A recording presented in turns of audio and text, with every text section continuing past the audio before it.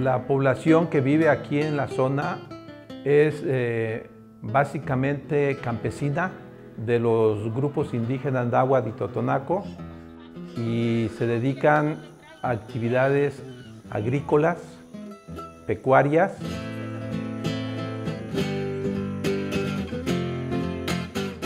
Una familia primeramente tenía una casa provisional construida con materiales no muy resistentes, pero año con año, de acuerdo a las excedentes que tenía de sus cosechas o de su trabajo, iba ahorrando comprando algunos materiales que le permitieran a futuro tener su casa bien construida. Pero para eso se llevaba entre 10, 15 o hasta 20 años.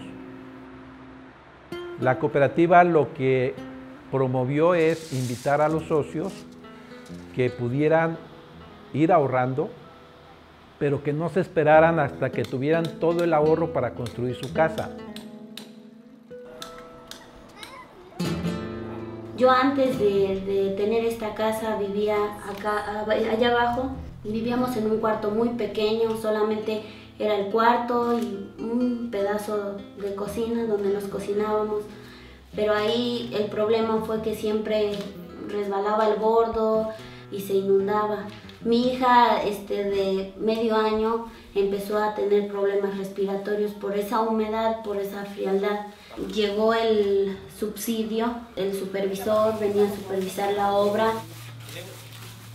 Supervisores de vivienda. Ellos son albañiles, pero que han sido capacitados por arquitectos para que puedan apoyar a las familias a diseñar el tipo de vivienda que quieren.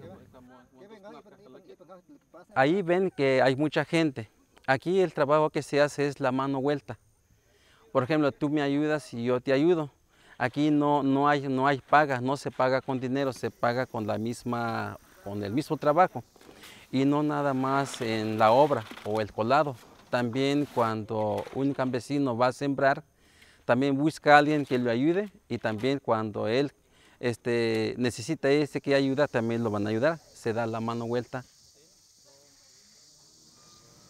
Esta es mi cocina, mm, tengo mi sala, dos recámaras y un baño. Este, así trabaja, bueno, así trabajaron este, para, para que nos dieron una vivienda este, pensando en el bienestar de nosotros.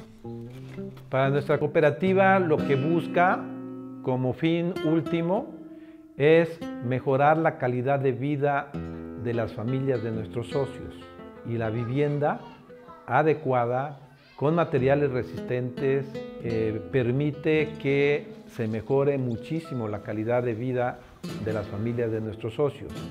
Por eso la Tosepantomi se interesa en que eh, nuestras familias cuenten con una vivienda agradable.